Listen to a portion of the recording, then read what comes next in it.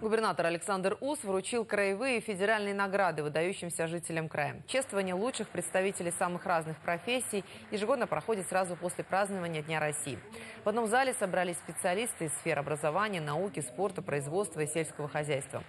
Они получили знаки отличия, медали, почетные звания и грамоты благодарности от губернатора края, от президента страны.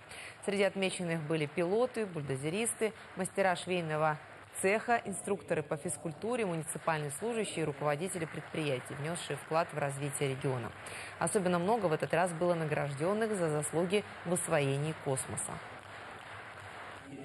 В частности, мы производим бортовую аппаратуру, блоки управления для космических э, спутниковых систем, также наземные, наземную различную аппаратуру, которая используется как у нас на предприятии, так у меня в цехе, так и в других подразделениях предприятия, так и на космодроме Байконура и Плесецка.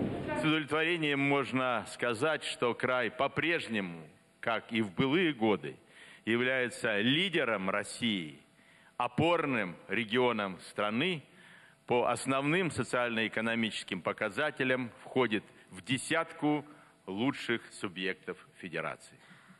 Все это является делом рук таких людей, такой породы, какие сегодня собрались в этом зале.